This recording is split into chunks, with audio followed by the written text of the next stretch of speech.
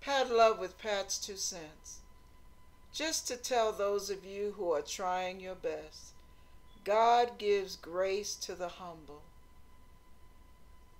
He has a heart for the meek, the lowly, those that are unassuming.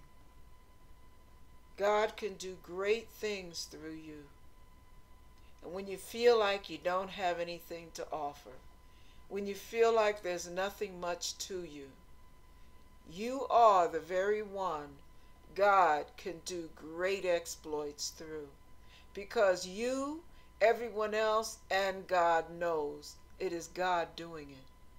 God gets all the glory through people like you.